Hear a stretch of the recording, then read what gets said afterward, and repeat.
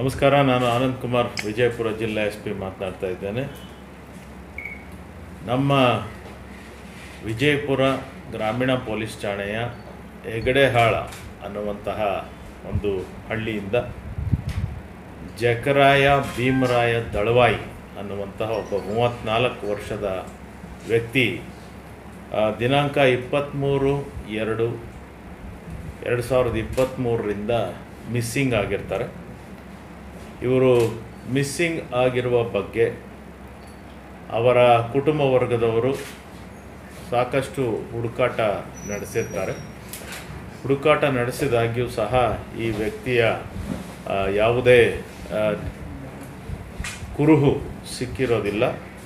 ಈ ಹಿನ್ನೆಲೆಯಲ್ಲಿ ಸುಮಾರು ಎರಡು ತಿಂಗಳುಗಳ ಕಾಲ ಇವರು ಹುಡುಕಾಟ ನಡೆಸಿ, ತದನಂತರ ಏಪ್ರಿಲ್ ತಿಂಗಳಿನಲ್ಲಿ ಇವರು ಒಂದು ಮಿಸ್ಸಿಂಗ್ ಪ್ರಕರಣವನ್ನು ವಿಜಯಪುರ ಗ್ರಾಮೀಣ ಪೊಲೀಸ್ ಠಾಣೆಯಲ್ಲಿ ದಾಖಲು ಮಾಡಿದರು.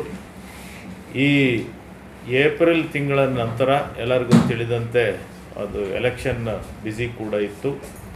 ಅದಾದ ನಂತರ ಈ ಕುಟುಂಬ ವರ್ಗದವರು ಯಾವುದೇ ಕುರುಹು ಸಿಗದೋ ಇರೋವಂಥ ಹಿನ್ನೆಲೆಯಲ್ಲಿ ಆತಂಕಕ್ಕೊಳಗಾಗಿದ್ದರು ಈ ಪ್ರಕರಣವನ್ನು ನಾವು ಗಂಭೀರವಾಗಿ ಪರಿಗಣಿಸಿದ್ವಿ. ಯಾಕಂತ ಹೇಳಿದ್ರೆ ಅವರು ಮಿಸ್ಸಿಂಗ್ ಆಗಿರೋ ಬಗ್ಗೆ, ಅವರ ಓಡಾಟದ ಬಗ್ಗೆ, ಅವರ ಮೂಮೆಂಟ್ ಬಗ್ಗೆ ಯಾವುದೇ ನಮಗೆ ವಿವರಗಳು ಸಿಕ್ಕಿರಲಿಲ್ಲ. ಮತ್ತು ಆತನ ಫೋನ್ ಕೂಡ ಆತನು ಮಿಸ್ಸಿಂಗ್ ಆದ ದಿನದಿಂದ ಸ್ವಿಚ್ ಆಫ್ ಆಗಿತ್ತು. ಮತ್ತು ಅವರ ಗೆಳೆಯರಿಗಾಗಲಿ, ಅವನು ಕೆಲಸ ಮಾಡ್ತಾ ಇದ್ದಂಥ ಸ್ಥಳದಲ್ಲಾಗಲಿ, ಅವನು ಅವೈಲಬಲ್ ಇರಲಿಲ್ಲ. ಈ ಹಿನ್ನೆಲೆಯಲ್ಲಿ ನಾವು ಈ ಮಿಸ್ಸಿಂಗ್ ಪ್ರಕರಣವನ್ನು ಗಂಭೀರವಾಗಿ ಪರಿಗಣಿಸಿ ಇದನ್ನು ಯಶಸ್ವಿಯಾಗಿ ತನಿಖೆಯನ್ನು ಮಾಡುವಂತಹ ಹಿನ್ನೆಲೆಯಲ್ಲಿ ನಾವು ಒಂದು ವಿಶೇಷ ತನಿಖಾ ತಂಡವನ್ನು ನಾವು ರಚನೆ ಮಾಡಿದ್ವಿ.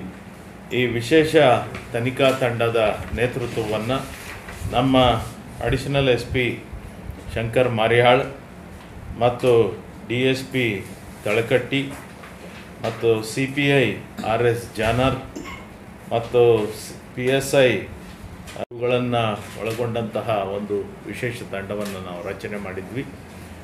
ಮತ್ತು ಈ ವಿಶೇಷ ತಂಡ ಅತ್ಯಂತ ಯಶಸ್ವಿಯಾಗಿ ಕಾರ್ಯಾಚರಣೆಯನ್ನು ನಡೆಸಿದೆ, ತನಿಖೆಯನ್ನು ನಡೆಸಿದೆ.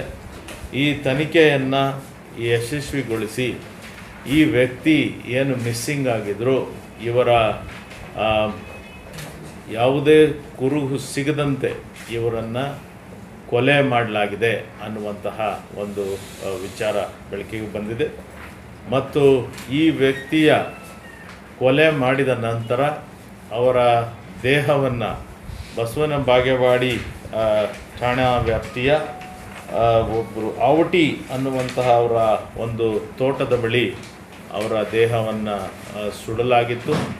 ಹಾಗಾಗಿ ಮೃತದೇಹ ಕೂಡ ದೊರಕದೆ ನಮಗೆ ತನಿಖೆಗೆ ಅತ್ಯಂತ ಕಷ್ಟ ಕಷ್ಟ ಸಾಧ್ಯವಾಗಿತ್ತು ಆದರೂ ಸಹ ಈ ಮಿಸ್ಸಿಂಗ್ ಕೇಸನ್ನು ಬೆನ್ನು ಹತ್ತಿದಂತಹ ನಮ್ಮ ವಿಶೇಷ ತನಿಖಾ ತಂಡ, ಆಕೆಯ ಮೃತ ವ್ಯಕ್ತಿಯ ಹೆಂಡತಿ ಜಯಶ್ರೀ ದಳವಾಯಿ ಮತ್ತು ಆಕೆಯ ಪ್ರಿಯಕರ ಡೋಂಗ್ರಿ ಸಾಬ್ ಸೈಫನ್ ಸಾಬ್ ಬೊಮ್ಮನಹಳ್ಳಿ ಅನ್ನುವಂತಹ ಇವರ ಇಬ್ಬರ ಅಕ್ರಮ ಸಂಬಂಧದ ಬಗ್ಗೆ ಸಿಕ್ಕಿದಂತಹ ಒಂದು ಸಣ್ಣ ಸುಳಿವಿನಿಂದಾಗಿ ಈ ಒಂದು ಕೊಲೆ ಪ್ರಕರಣ ಬೆಳಕಿಗೆ ಬಂದಿದೆ. ಇವರಿಬ್ಬರ ಸಲಿಗೆಯ ನಡವಳಿಕೆ ಬಗ್ಗೆ ಕೆಲವು ಕ್ಲೂಸ್ ಸಿಕ್ಕಿದಂಥ ಹಿನ್ನೆಲೆಯಲ್ಲಿ ತನಿಖೆಯನ್ನು ಆ ಲೈನ್ನಲ್ಲಿ ನಮ್ಮ ತನಿಖಾ ತಂಡ ತೆಗೆದುಕೊಂಡು ಹೋಗಿತ್ತು. ಮತ್ತು ಮೇಲಿಂದ ಮೇಲೆ ಈ ಆಕೆಯ ನಡವಳಿಕೆಯ ಬಗ್ಗೆ ಅನುಮಾನಾಸ್ಪದವಾಗಿದ್ದರಿಂದ ಮತ್ತು ಆಕೆಯೇ ತನ್ನ ಗಂಡನ ಮಿಸ್ಸಿಂಗ್ ಕೇಸ್ ಬಗ್ಗೆ ಪರ್ಸ್ಯೂ ಕೂಡ ಮಾಡ್ತಾ ಇದ್ದಿದ್ದರಿಂದ ಅವಳ ಬಗ್ಗೆ ಅನುಮಾನ ಅಷ್ಟು ಬಂದಿರಲಿಲ್ಲ ಪ್ರ, ಪ್ರಾಥಮಿಕವಾಗಿ.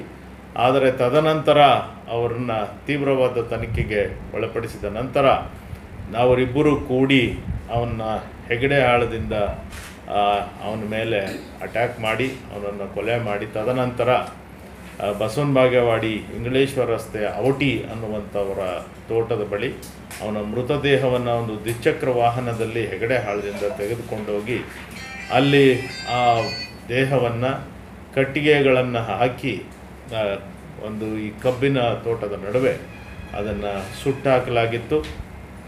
ಆಮೇಲೆ ಈ ಇಬ್ಬರು ಆರೋಪಿತರುಗಳನ್ನು ನಾವು ತೀವ್ರ ವಿಚಾರಣೆಗೆ ಒಳಪಡಿಸಿ ಆ ಮೃತದೇಹವನ್ನು ಸುಟ್ಟಿದ್ದಂಥ ಸ್ಥಳಕ್ಕೆ ಕೂಡ ಕರೆದುಕೊಂಡು ಹೋಗಿ.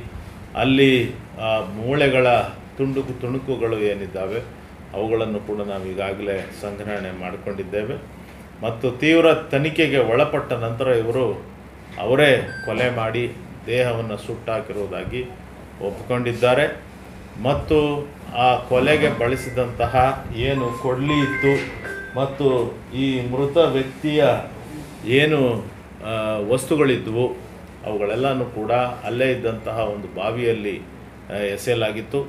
ಆ ಬಾವಿಯನ್ನು, ನೀರನ್ನು ಕೂಡ ನಾವು ತೆರವುಗೊಳಿಸಿ, ಆ ಬಿ, ಬಾವಿಯಲ್ಲಿದ್ದಂತಹ ಎಲ್ಲ ಮೃತ ವ್ಯಕ್ತಿಗೆ ಸಂಬಂಧಪಟ್ಟಂತಹ ಮತ್ತು ಕೊಲೆ ಮಾಡಲು ಬಳಸಿದಂತಹ ಶಸ್ತ್ರಾಸ್ತ್ರಗಳನ್ನು ಎಲ್ಲನೂ ಕೂಡ ನಾವು ವಶಪಡಿಸಿಕೊಂಡಿದ್ದೇವೆ. ಈಗ ಇಬ್ಬರು ಆರೋಪಿತರುಗಳನ್ನು ದಸ್ತಗಿರಿ ಕೂಡ ಮಾಡಲಾಗಿದೆ. ಅವರ ಮೇಲೆ ನಾವು ಅತ್ಯಂತ ಕಠಿಣವಾದ ಕ್ರಮವನ್ನು ತೆಗೆದುಕೊಳ್ತೀವಿ. ನಿಮ್ಮ ತಾಲೂಕು ಹಾಗೂ ಜಿಲ್ಲೆಯ ಸುದ್ದಿಗಳಿಗಾಗಿ ಎನ್ ಕೆ ಟಿ ಚಾನಲ್ ಅನ್ನು ಸಬ್ಸ್ಕ್ರೈಬ್ ಮಾಡಿ ಹಾಗೂ ಪಕ್ಕದಲ್ಲಿ ಕಾಣ್ತಾ ಇರೋ ಬೆಲ್ ಐಕಾನ್ ಮೇಲೆ ಕ್ಲಿಕ್ ಮಾಡಿ.